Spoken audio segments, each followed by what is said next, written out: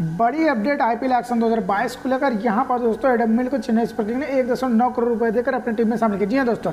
IPL 2022 में Chennai super king की तरफ से खेलते नजर आएंगे एडम मिल्स